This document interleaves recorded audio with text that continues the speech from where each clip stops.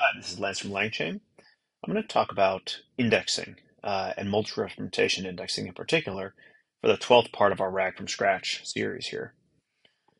So we previously talked about a few different major areas. We talked about query translation, which takes a question and translates it in some way to optimize for retrieval. We talked about routing, which is the process of taking a question, routing it to the right data source, be it a vector store, GraphDB, uh, SQLDB, we talked about query construction. We dug into uh, basically query construction for vector stores, but of course there's also text to SQL, text to Cypher. Um, so now we're going to talk about indexing a bit. In particular, we're going to talk about indexing, indexing techniques for vector stores. Um, and I want to highlight one particular method today called multi-representation indexing. So the high level idea here is derived a bit from a paper called proposition indexing which kind of makes a simple observation. You can think about decoupling raw documents and the units you use for retrieval. So in the typical case, you take a document, you split it up in some way to index it, and then you embed the split directly. Um, this paper talks about actually taking a document, splitting it in some way, but then using an LLM to produce what they call a proposition, which you can think of as like kind of a distillation of that split. So it's kind of like using an LLM to modify that split in some way to distill it or make it like a crisper, uh, like summary, uh, so to speak, that's better optimized for retrieval. So that's kind of one highlight, one piece of intuition. So we've actually taken that idea and we've kind of built on it a bit in kind of a really nice way that I think is very well suited actually for long context LLMs. So the idea is pretty simple. You take a document and you you actually distill it or create a proposition like they showed in the prior paper.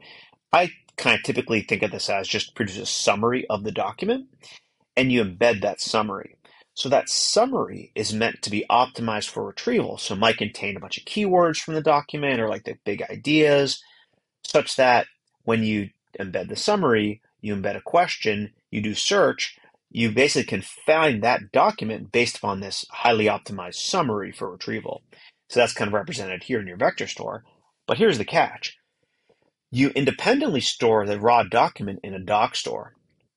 And when you when you basically retrieve the summary in the vector store, you return the full document for the LLM to perform generation. And this is a nice trick because at generation time, now with long context LLMs, for example, the LLM can handle that entire document. You don't need to worry about splitting it or anything. You just simply use the summary to, like, to create a really nice representation for fishing out that full doc. Use that full doc in generation. There might be a lot of reasons you want to do that. You want to make sure the LLM has the full context to actually answer the question. So that's the big idea. It's a nice trick. And let's walk through some code here. So we have a notebook all set up. Uh, just like before, we've done some pip installs, um, set some API keys here for Langsmith. Um, kind of here's a diagram. Now let me show an example. Let's just load two different uh, blog posts. Uh, one is about agents. One is about uh, you know human data quality.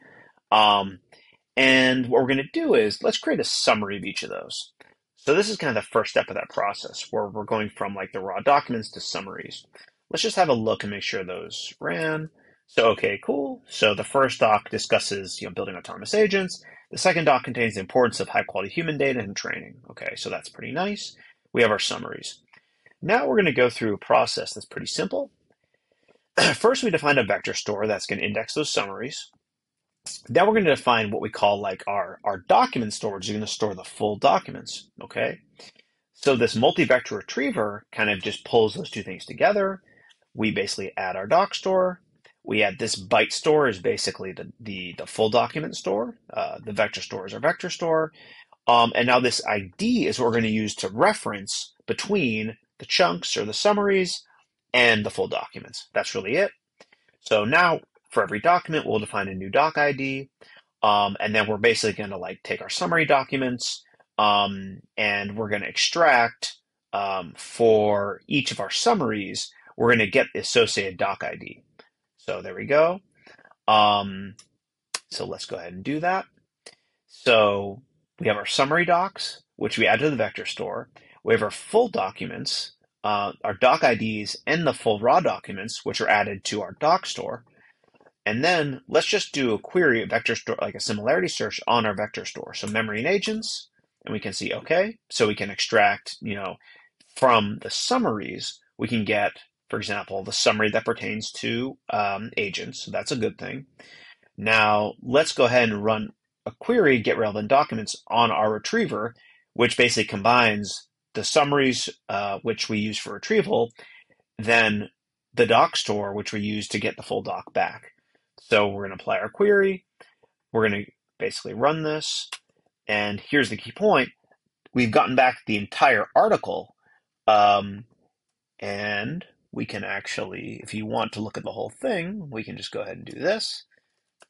Here we go. So this is the entire article that we get back from that search. So it's a pretty nice trick. Again, we query with just memory and agents.